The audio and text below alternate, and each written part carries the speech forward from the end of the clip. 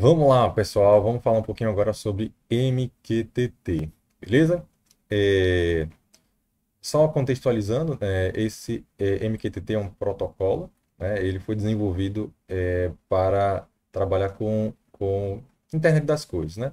É um protocolo já antigo e foi desenvolvido pela IBM, né? O interessante desse protocolo é que ele tem aí, digamos, sua criação por volta da década de 90 e foi projetado para dispositivos leves, né? Ou seja, para microcontroladores, para hardware que tem aí sua, digamos, sua limitação aí na hora de processar é, algumas instruções, né? Então, realmente para hardware simples.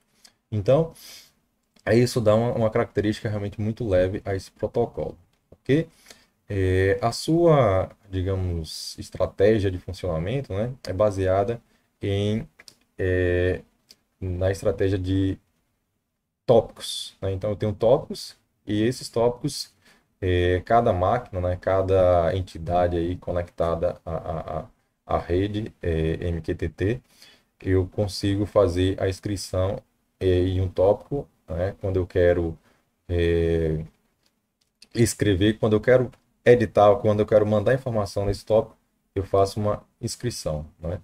E quando, é, ou seja, eu faço um subscribe.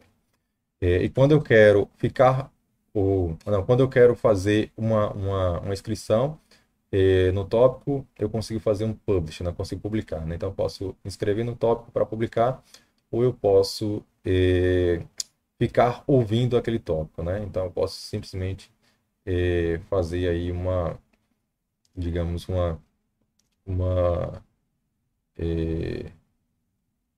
ficar ouvindo o tópico, né? Ficar ouvindo a, a, a as informações estão chegando, né? É, então me inscrevo, fico ouvindo, né?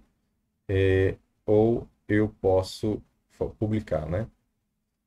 Ok, então eu posso fazer um subscribe para ficar ouvindo, ou eu posso é, publicar em um determinado tópico. Então me inscrevo, fico ouvindo, um subscribe e publish eu posso publicar naquele tópico quando eu precisar publicar naquele tópico. Então, resumidamente é isso, ok? Só que aí entra também o papel é, de uma entidade, né, que vai conseguir intermediar essas mensagens, né?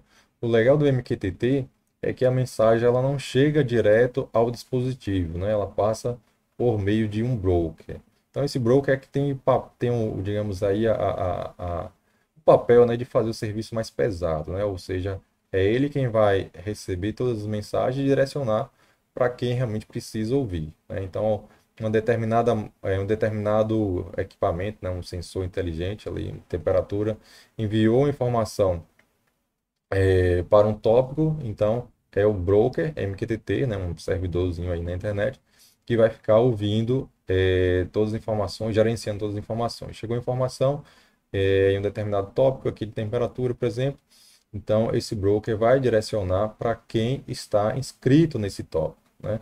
Então isso fica, isso torna também toda a, a o gerenciamento aí da, da, das mensagens que trafegam é, nesse nessa rede MQTT, digamos assim, é, torna leve para o dispositivo, né? Para quem está aí na ponta, né? Então, o quem realmente se encarrega do serviço pesado é o broker, né?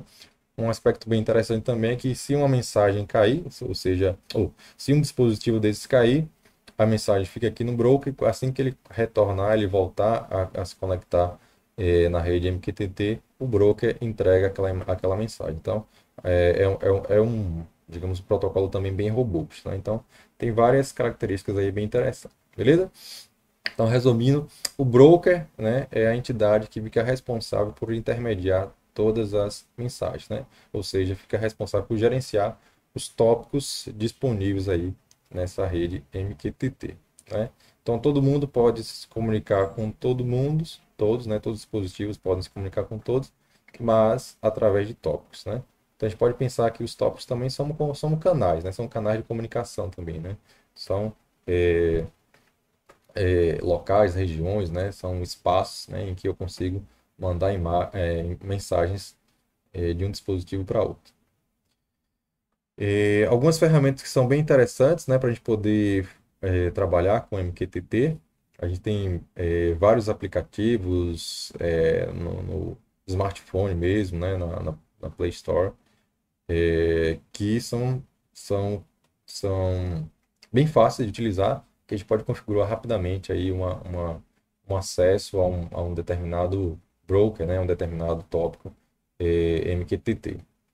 E no Windows também, até no ele deve funcionar no Linux, mas no Windows tem aí alguns, algumas ferramentas bem interessantes como o MQTT Box. Né? Então, recomendo é, para quem está usando Windows essa ferramentazinha aqui que dá para a gente poder trabalhar bem direitinho, né? bem, fazer alguns testes, né? fazer alguns experimentos bem interessantes é, diretamente do Windows, né? no, no, no programa desktop e que a gente consegue mandar informações né? para um, um dispositivo, né? ou seja, pode fazer um publish é, ou a gente pode se inscrever, né? fazer um subscribe em um tópico e ficar ouvindo aquele tópico.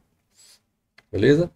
É, na internet, né, se eu quiser usar algum, algum serviço né, de broker, alguma, quero, digamos, ter o, o, uma, um broker, né, eu quero criar um tópico MQTT, na verdade, quero poder me inscrever, eu quero poder escrever nesse tópico, tem algum, algum serviço na internet, né? Ou eu posso também, usando, por exemplo, o Mosquito, ele, apesar de ter esse serviço na internet, eu posso também instalar aí no meu computador. Né? Então aqui tem um exemplo de, é, de como você configurar um, acessar, na verdade, como acessar, configurar no seu, no seu cliente, né? Configurar no seu cliente um, um, um cliente MQTT para poder acessar aí a, a, é um broker que está disponível aí, né? Então esse broker, por exemplo, deixa eu ver se aqui ele dá aqui qual é o, o ele, acho que ele, ele, ele tem aqui, acho que é o teste. Cadê, cadê, cadê? Acredito que seja o teste MQTT, Mosquito MQTT. É, provavelmente esse aqui, mas a gente consegue configurar este Mosquito MQTT, né, que está disponível na internet para utilizar como, é, como broker inicial, né, para fazer alguns testes. Beleza? Tem alguns detalhezinhos mais técnicos que a gente vai tentar falar de configuração em outro vídeo. Então, de modo geral, é isso. É, eu queria dar só uma visão bem introdutória sobre esse, esse MQTT, né, sobre o que é, é esse protocolo aqui de, de comunicação em rede, né, no caso para dispositivos internet das coisas. Dá uma visão geral aí para quem está começando. Então, valeu, valeu, brigadão e até mais.